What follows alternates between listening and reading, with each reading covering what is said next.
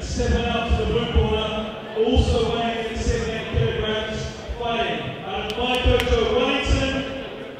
Put your hands together for Ethan.